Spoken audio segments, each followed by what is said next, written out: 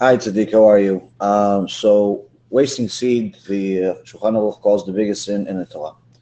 So, uh, the uh, tshuva for wasting seed is not a simple one, but it's also not impossible for somebody that obviously desires to do tshuva. First and foremost, a person needs to educate themselves about the sin itself. They have to educate themselves and to understand why they have to do tshuva for it they have to understand what's so bad about it, and they have to understand why they have to regret it. Um, and uh, so, first and foremost, they have to educate themselves. Baruch Hashem, we have a whole playlist of uh, lectures about wasting seed. I'll send it to you shortly. Uh, some long lectures, just uh, three or four long lectures. I highly recommend watching every single one of them. Uh, you don't have to, you know, watch it all in one sitting. Watch uh, 10 minutes at a time, an hour at a time, three hours at a time, whatever you want. But the point is to watch all of them. They're all different. They all cover different aspects of it. They cover the sin itself, and they also cover the next part, which is the tshuva. So the second part of tshuva, aside from the education, is to obviously stop, stop the sin. Uh, a person needs to do everything uh, possible to stop themselves from sinning, and there are different shitot, different strategies of how to stop it because it's not one of those sins like uh, Shabbat where you could just stop driving. Unfortunately, when a person uh, wastes seed for a long enough time, they um, get addicted to it physically uh, and psychologically. And the Rambam writes that it's the uh, most difficult addiction in human nature to overcome, even worse than drugs. So a person needs to do certain things in order to help themselves. I explained this in a shiurim, but just to give you a little bit of insights. One of the uh, uh, things that a person needs to do is, uh, if he's single, is that he's not allowed to touch his member. Uh, so that means that when he goes to the bathroom, he should go to the bathroom. Uh, you know, if it's uh, if he has a urinal, then you know, urinal he doesn't touch his member. If he doesn't, then he has to sit down. when he takes a shower, to use a sponge to clean himself uh, and uh, not to touch it himself. The uh, Rambam says that if he's married, he's allowed to touch it, but uh, in general, it's still always not recommended. Uh, but if he's single, there's no reason in the world for him to touch it. The Gemara says that person that touches his member is bringing on a mabul.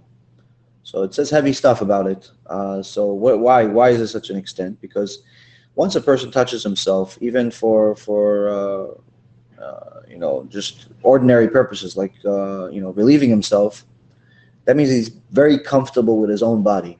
And the more comfortable a person is with his own body, to touch his own body, even whether it's a, uh, the more comfortable he will be to do things like this. Least one thing leads to the other. So it's a, it's not just a physical thing; it's also psychological. So, person needs to become, in essence, less comfortable with himself. Uh, do his best to not even look at that part of his body altogether, ever. Uh, and I know this sounds strange in the beginning, and it's even a little difficult in the beginning, but you get used to it. Hashem. Um, the third thing is that I, uh, aside from obviously uh, learning and then stopping, and now he has to take certain actions. One of the actions that the uh, Arizal says that he has to fast 84 times for every time he wasted seed.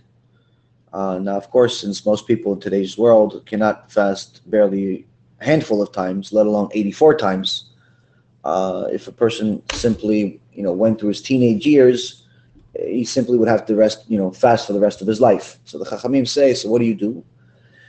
In that situation, you use the uh, money in order to, to replace the fast, meaning that each fast is replaced by the value of a meal. So if let's say a meal is five dollars, each uh, fast is five dollars. So for each time a person uh, wasted seed in his life would be five dollars. So that's a uh, each wasting seed would be four hundred and twenty dollars. If he lives in a more expensive country, uh, like Japan or other places, it may be more. You know, it could be ten dollars a meal. Point being is that let's say if it's five dollars a meal, it's four hundred and twenty dollars per time. Now, if a person is rich, then he should. Uh, it's highly recommended for him to give a very large sum and rid himself of uh, at least a big part of what he did. If he's not rich, uh, or it's just too difficult for him for whatever reason, then he should just uh, make uh, regular small donations on a regular basis uh, to uh, for this specific reason itself. this is outside of maaser. This is outside of traditional tzedakah. This is something specific tzedakah.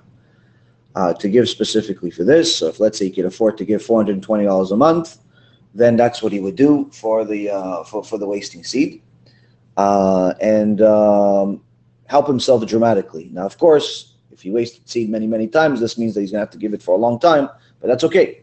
Like I told you guys in the story about the uh, toilet paper uh, business story on uh, on Sunday, Hashem is simply looking for us to take real action uh, to try to do full tshuva. Once we do it, He'll help us. Meaning, abali ta'el misayin biyado. If a person comes to become purified, Hashem will help him, even giving him more money in order to help him do tshuva, if that's necessary. So uh, he has to give tzedakah. Now the next part is uh, to uh, erase the sin, is to uh, learn. Learn Torah, specifically learn Gemara to the point of sweating, meaning learn hard, learn you know, uh, consecutive, you know, several hours in a row, uh, to the point where you're even sweating and it's difficult for you.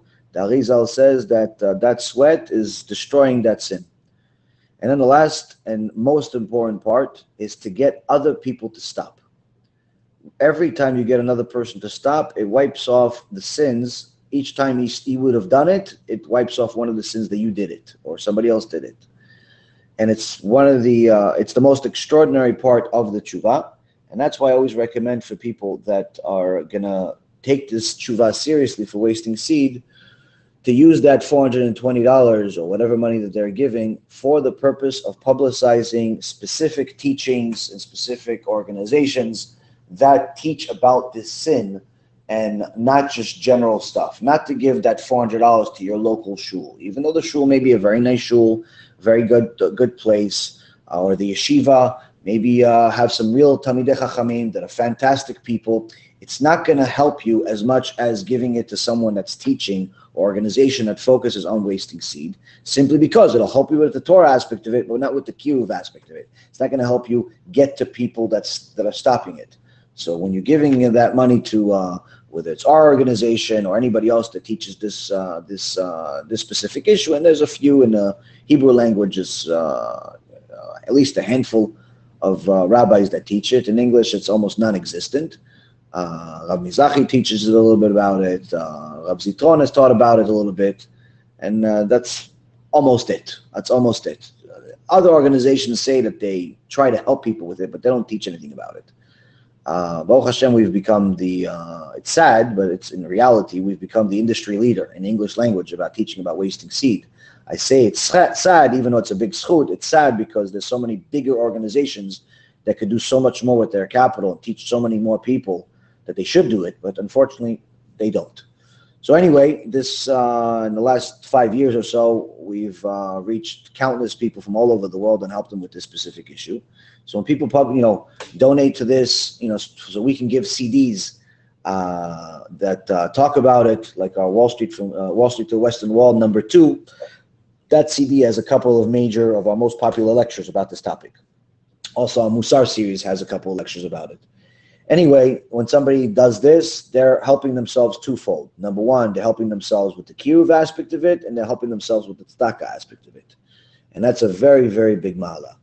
Uh, so the combination of the, these handful of things are the core foundation of doing tshuva for wasting seed. But always remember that the learning is not just a one-time learning; it's an ongoing learning. Meaning you constantly have to learn about this on a regular basis if it's not daily, at least has to should be weekly. If it's not weekly, definitely no less than monthly to learn and refresh yourself about this sin on a regular basis. A person needs to know a lot about it in order to, you know, constantly remind himself when the yetzer hara comes and tries to convince him to do this.